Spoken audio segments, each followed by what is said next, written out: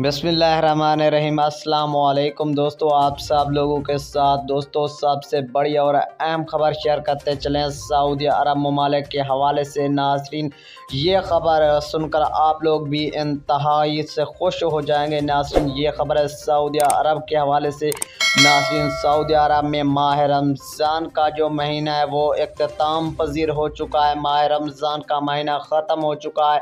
माह रमज़ान के कुल उनतीस रोज़ सऊदी अरब में हुए। नासरीन कराम आप लोग के साथ सबसे बड़ी अपडेट शेयर करते चले कि सऊदी अरब में ईद फितर का चाँद नज़र आ चुका है।